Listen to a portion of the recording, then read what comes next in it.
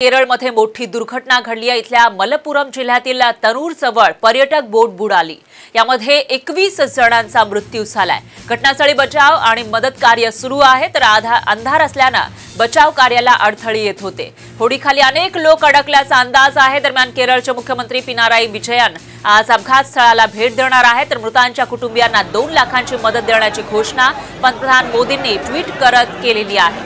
या ठिकाणी एक मोठी दुर्घटना घडलेली आहे. एक बोट उलटली आणि त्यामध्ये एकवीस पर्यटकांना जलसमाधी लाभलेली आहे. तर दुसरीकडे अनेक जण या बोटीखाली अडकल्याची माहिती सुद्धा समोर येते.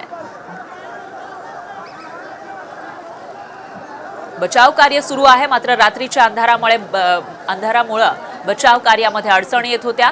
आता सकाळपासून पुन्हा एकदा बचाव कार्याला सुरुवात झाली आहे. मुख्यमंत्री सुद्धा या ठिकाणी भेट देणार आहे शहरातील बीके शूज या दुकानाला अचानक आग लागली. आगीमध्ये संपूर्ण दुकान सळून खाक झाला आहे तर यामध्ये सुमारे दोन ते अडीच कोटींचं नुकसान झाल्याची माहिती आहे.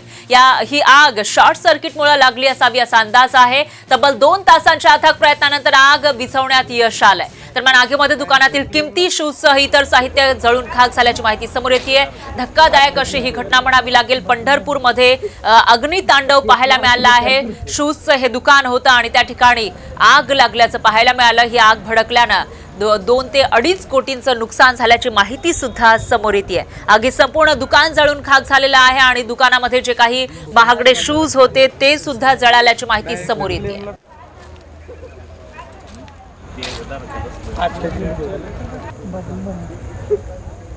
पंढरपुरात हे अग्नितांडव पाहायला मिळालं आहे.